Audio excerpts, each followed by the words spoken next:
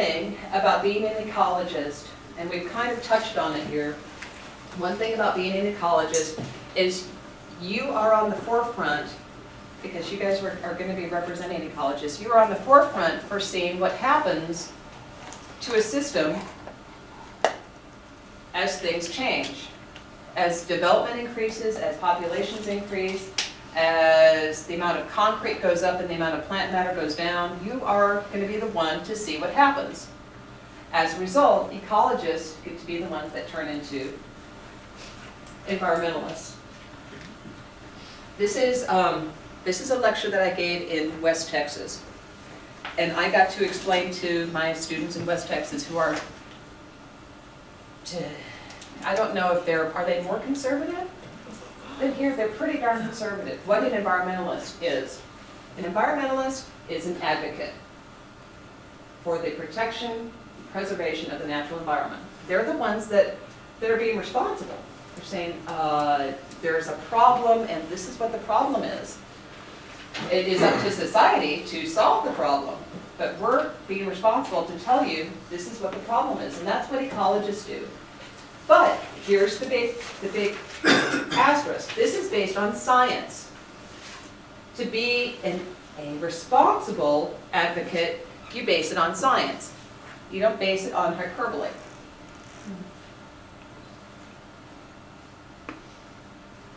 Albert Leopold. He was the, he shot wolves in New Mexico for crying out loud, but then he came back and said, hold it. The, the system's not working if we try to control everything. We can't control and take out what we consider bad and just leave what we consider good. The system doesn't work that way. And so he was one of the first ones to say, uh, we need to keep all of the parts.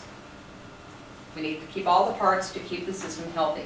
And by the way, Rachel Carson in Silent Spring, she was a U.S. Fish and Wildlife Service employee, and um, she was pretty much vilified for, for coming out and saying, let me back up, coming out and saying that the, the use of the highly persistent insecticides were killing insects and accumulating in the environment to the detriment of, of the environment, is really what she said. The Silent Spring referred to, if you don't already know, referred to the loss of songbirds uh, due to the thinning of the eggshells because of the buildup of DDT.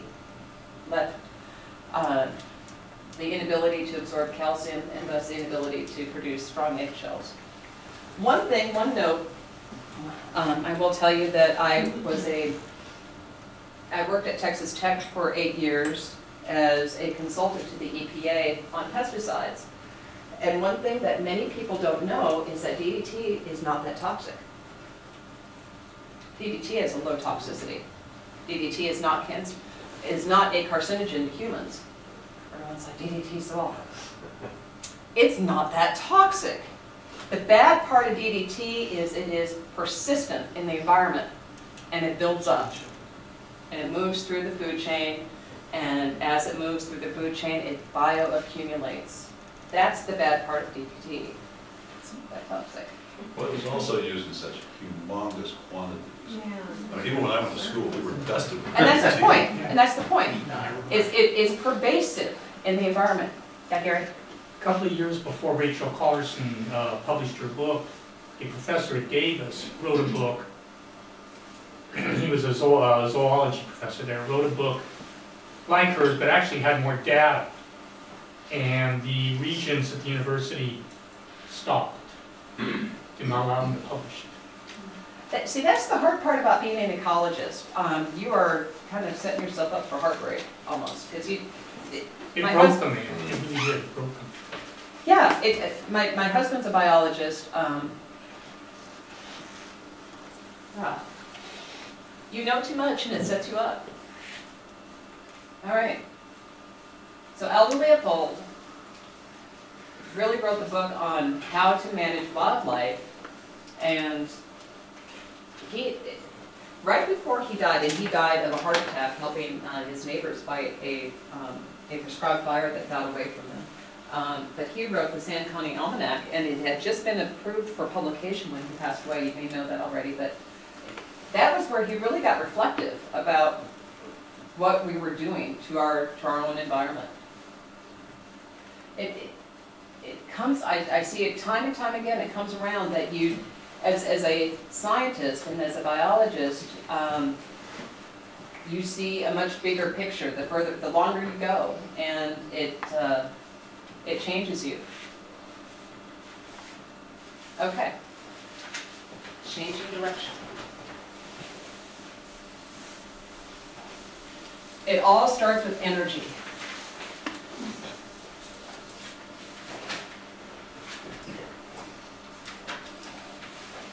Just like Watergate. We're not following the money, we're following the energy. And my students never understood that analogy.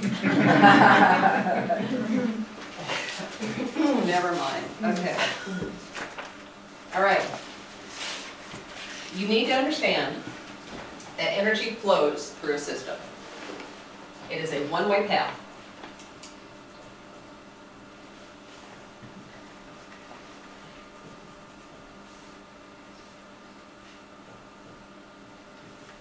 Energy flows through a system, one-way path. It is transferred from, from level to level, and it is, well, let's start with this one. This is a good, this is a good one to know. Um, Laws of thermodynamics.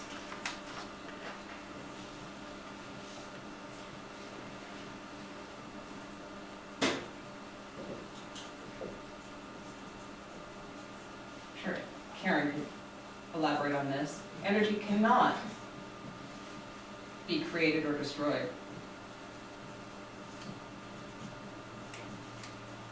Only transferred.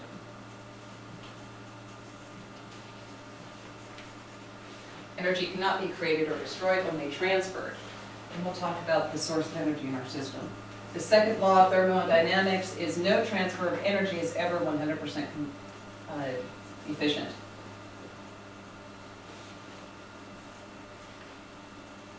No transfer of energy is ever 100% efficient. Ken, you like cars? Great. Ken? Um, Yes, I do. All right. The most efficient car in the world is probably a BMW. Would you agree? Mm. German engineering? What's the most efficient car in the world? Not Tesla. Mercedes. Okay.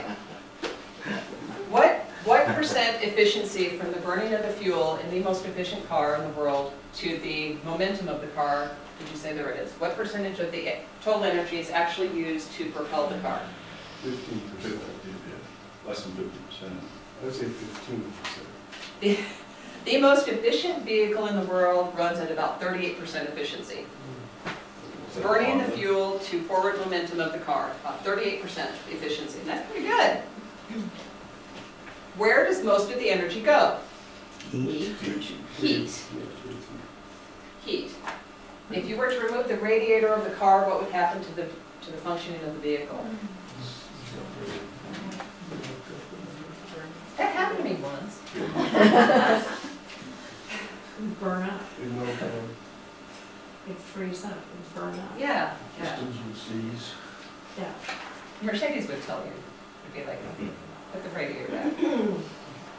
So most of the energy in a system is not, is, you, you can't destroy energy, but you can transfer it into a different form. When you have a transfer of energy between, for example, say, grass to a grazer, all of the energy from the grass is directly transferred into the tissues of the grazer. Most of that energy is going to be lost in the form of Heat.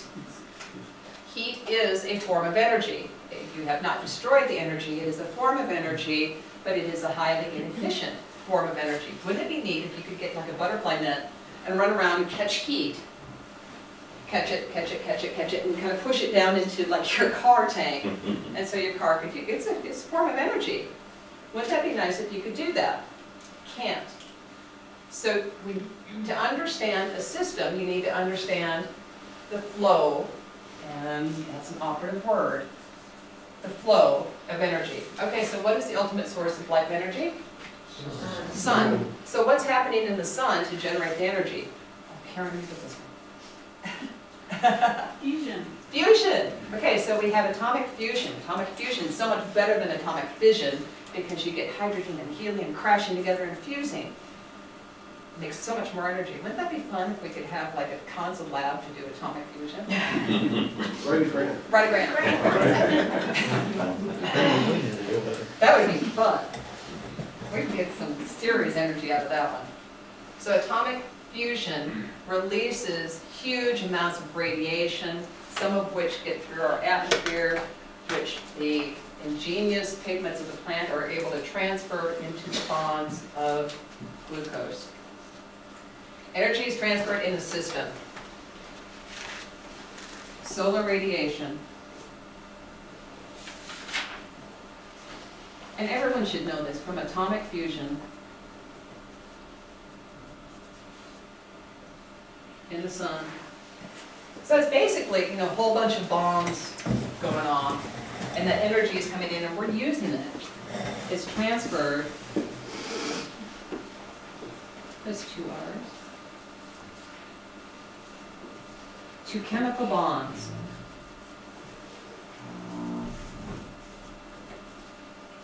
in plants.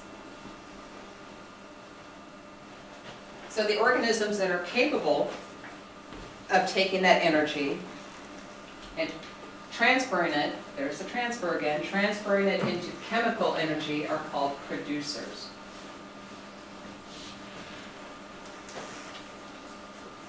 Let's try this one. There we go. Okay, so there's our, our pyramid of energy with the sun as our source of energy. At the base of our pyramid, notice that the base is the widest at the bottom because that has the most amount of energy. The plants are always going to be the, the uh, sites, the carriers of the most amount of energy in the system. So as we go up through our system, Notice we start at 1,000 units of energy at the base. Then we have our organisms that feed on them, the consumers. And here we have grasshoppers. The difference between plants and grasshoppers, yeah. We have started with 1,000 units of energy, we went to 100 units of energy. Not a very efficient transfer of energy. Then from the grasshoppers to the frog, we went from 100 to 10 and then from the frog to the upper level consumers. Notice that we have the upper level consumers, snakes, fox, predators, they just get one one thousandth of the original amount of energy. Again, this isn't prairie dogs.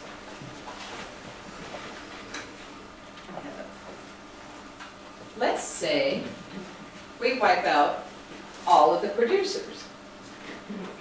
We go in, oh, here we go. My whiteboard, I can do that. Cool. I can wipe out, oh great, so all the producers are gone. What happens? Whole system fails. Yeah. The whole system falls down. Whole system falls down. Another way of seeing it?